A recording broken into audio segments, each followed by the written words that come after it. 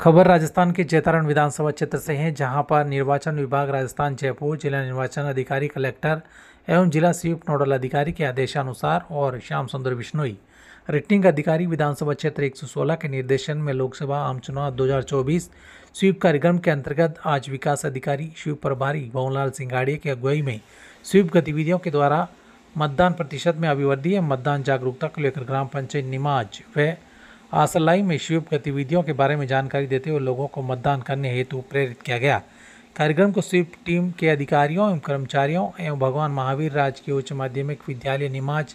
व राजकीय उच्च माध्यमिक विद्यालय आसलाई में मतदान का आह्वान किया एवं गाँव के गली मोहल्लों में पीले चावल बांटकर 26 अप्रैल 2024 को मतदान करने हेतु प्रेरित किया गया एवं स्कूली छात्राओं द्वारा हाथों में मेहंदी लगाकर मतदाता जागरूकता का संदेश दिया गया।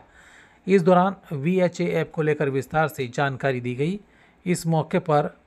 सोहनलाल विश्नोई, ग्राम विकास अधिकारी निमाज व हाकम सिंह, ग्राम विकास अधिकारी आसलाई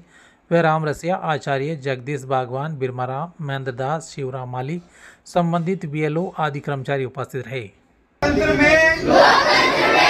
अपनी पूर्ण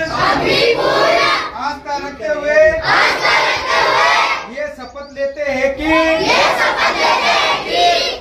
हम अपने देश की लोकतांत्रिक परंपराओं की